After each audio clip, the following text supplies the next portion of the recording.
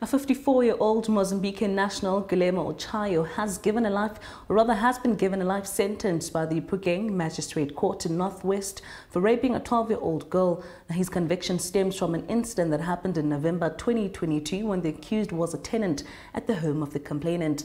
The National Prosecuting Authority in the Northwest has lauded the prosecutor, investigating officer, and as well as the other role players who ensured that the perpetrator is brought to book.